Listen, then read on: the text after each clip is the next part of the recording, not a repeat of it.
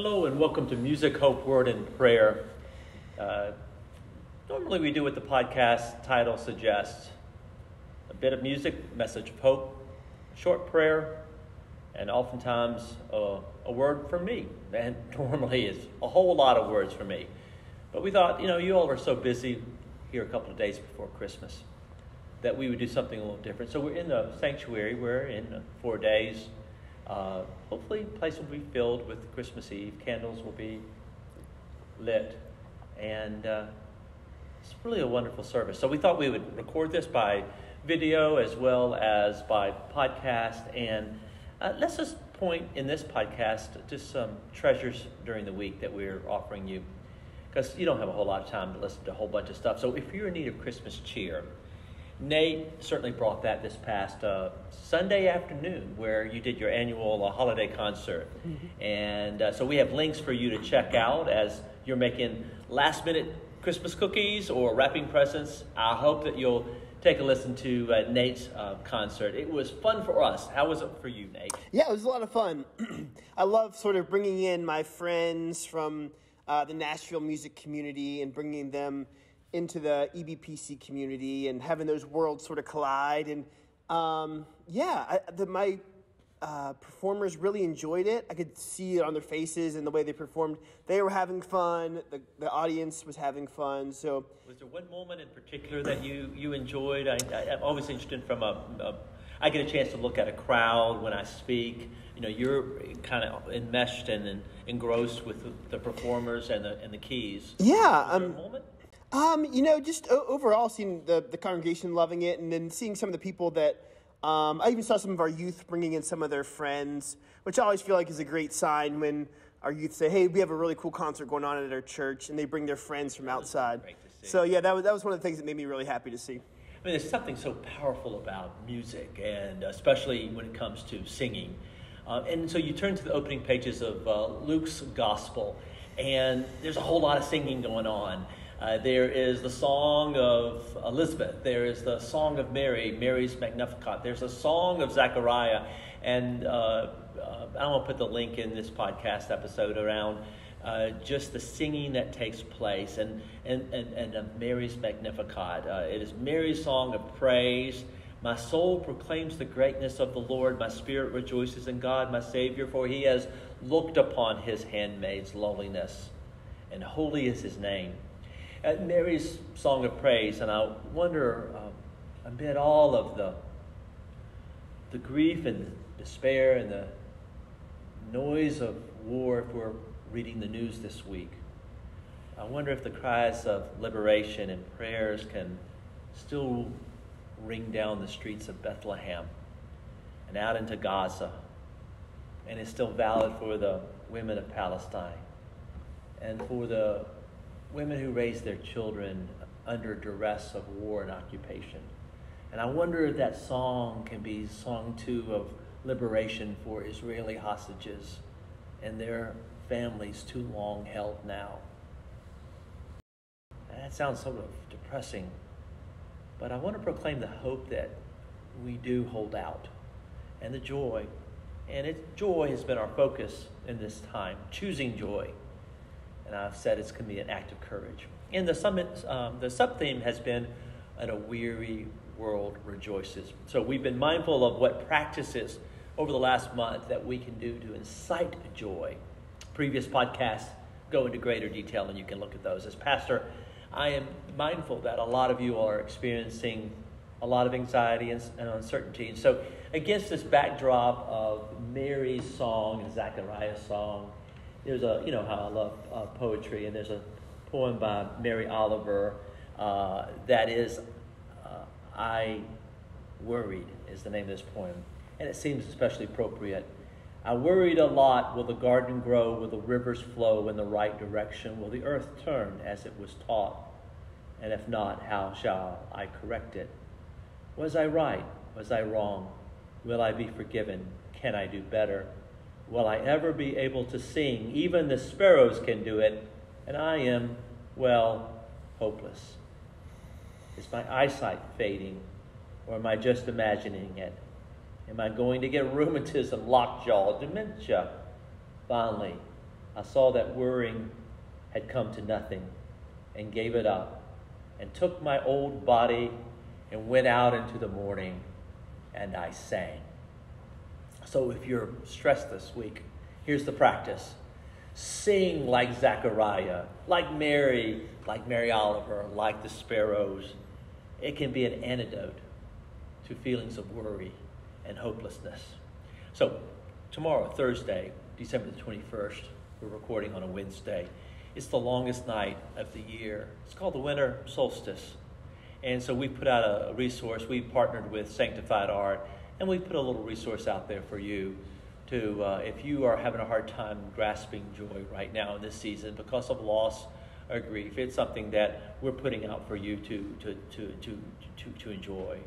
Um, so we've included the link. So Nate, let's turn to Christmas Eve. That's just right upon us on this uh, coming Sunday. Talk to us about what we got going on. Yeah, so we have no mon- uh, morning service, no 10 a.m. service, since Christmas Eve is falling on a Sunday this year. Um, but we will have our 3:30 barn service out by the barn. That's encouraged um, to bring young families to that, kids, but really all ages are certainly welcome. It's an informal service, about 30 to 45 minutes. Um, so gather for that, and then you can also join us for our 5 p.m. here in the sanctuary. That'll be your traditional service, candle lighting, carol singing, and a message from John as well. So we hope to see you at one or both of those. I notice you have a variation uh, of one of your favorites, Oh Holy Night. What's Christmas Eve without it? Yes, I do, do it every year. It's one of my favorites. Um, this year, especially, I think it fits really well. It has that line that we all know, but probably you can easily gloss over sometimes. It's the thrill of hope, a weary world rejoices. And if you've been following along either on Sunday morning for our services or on our podcast, you know, a weary world rejoices has been our theme. So that really hones in on that. And we've talked about that throughout Advent, from accepting that the world is weary and sometimes our lives can be that way, um, to talking about how community can help with that, and talking about just uh, embracing that community and cultivating joy even in those times of sorrow. So, John, I know you've been working on your Christmas message. I'm sure it's just about there. Um, what can we expect from that? well, well the, the, the, title is We Make Room. And, uh, you know, there is a whole lot of material on the uh, edit, uh, the floor of the editing room as it, um, to, to borrow upon that saying, uh, the challenge is, is not to overload the message when the majority of people are just wanting to light a candle, sing Silent Night, and joy to the world, and to be on their way. The gospel story begins with um, the nativity of our Lord Jesus Christ, but the gospel message is about the good news of the resurrection. Uh, and so it's hard not to try to put forth too much uh, in a Christmas Eve message. Is to you, know, you want to kind of get into the Easter portion as well as the incarnation, the Christmas portion, and I, I think that was you know when I think about Handel's Messiah, he just sort of um, put put it all in there, both the Christmas and then the Easter, you know, with the Hallelujah chorus. Mm-hmm. Um, but you know, you you, you were a composer, and and and it's I, I guess when you compose, it's probably you probably have to catch yourself from uh, not letting it just sort of get out of hand and explode in terms of what may be in your head, of the largeness of, of, of the music that could be before you. Yeah, yeah. Even when I wrote um, Appalachian Rhapsody, which is on uh, Americana Carols, which you can check out, uh, my our Christmas album that came out a couple years ago for the church. Um, even that, um, a rhapsody is something that usually incorporates a lot of different themes and styles of music, something like that, it always was held together by a certain uh, motif.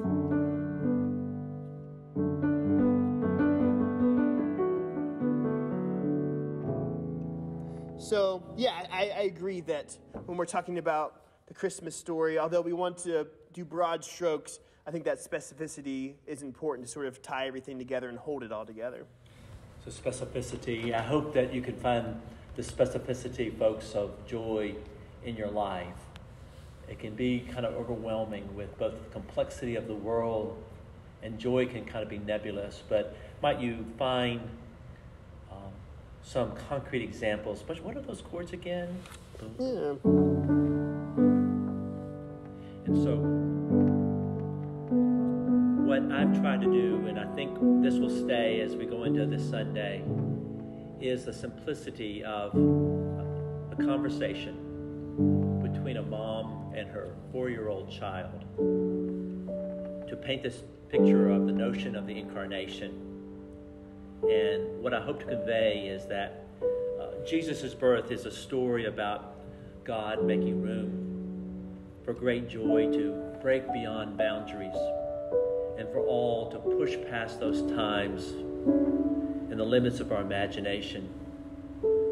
What I want to say, and I'm not sure how to say it with the economy of words, is to guard against losing our tolerance for vulnerability and the danger when we harden ourselves too much. Because when we harden ourselves too much, it becomes a challenge to make room for God, who wants to make room for us and to make room for others. So I'll leave you with this thought. How are you making room this season? And how can you make room for God to accompany you through whatever comes in this season? And how can you make room for joy? That's a lovely progression right there. So here's the prayer for today. Dear God, may we go into a weary world and may we speak tenderly, doing the good thing that is yours to do and choosing connection. And may we hold on to hope and remember that Christ took on flesh for me, for you, for the other. And you and me and we are God's beloved. So, with that in mind, may we go rejoicing through our day because the world so needs it, and we do too. Amen. Thank you for listening to music, hope, word, and prayer.